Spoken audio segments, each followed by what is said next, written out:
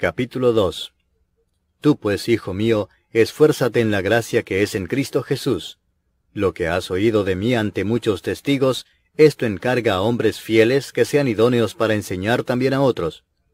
Tú pues sufre penalidades como buen soldado de Jesucristo.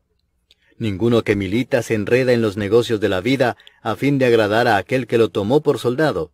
Y también el que lucha como atleta no es coronado si no lucha legítimamente. El labrador, para participar de los frutos, debe trabajar primero.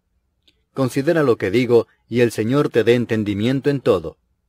Acuérdate de Jesucristo, del linaje de David, resucitado de los muertos conforme a mi Evangelio, en el cual sufro penalidades hasta prisiones a modo de malhechor, mas la palabra de Dios no está presa. Por tanto, todo lo soporto por amor de los escogidos, para que ellos también obtengan la salvación que es en Cristo Jesús con gloria eterna.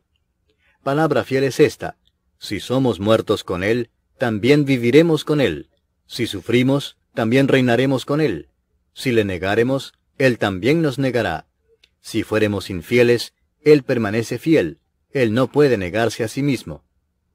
Recuérdales esto, exhortándoles delante del Señor a que no contiendan sobre palabras, lo cual para nada aprovecha, sino que es para perdición de los oyentes. Procura con diligencia presentarte a Dios aprobado, como obrero que no tiene de qué avergonzarse, que usa bien la palabra de verdad.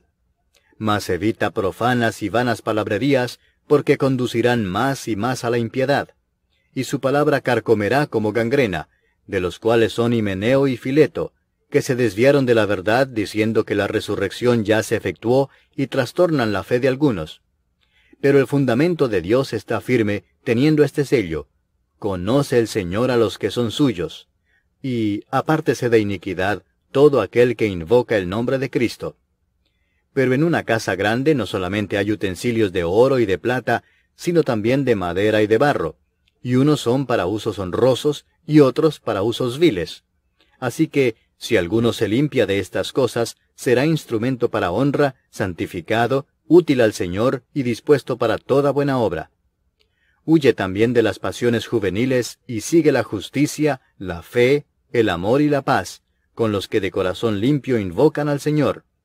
Pero desecha las cuestiones necias e insensatas, sabiendo que engendran contiendas. Porque el siervo del Señor no debe ser contencioso, sino amable para con todos, apto para enseñar, sufrido, que con mansedumbre corrija a los que se oponen, por si quizá Dios les conceda que se arrepientan para conocer la verdad y escapen del lazo del diablo en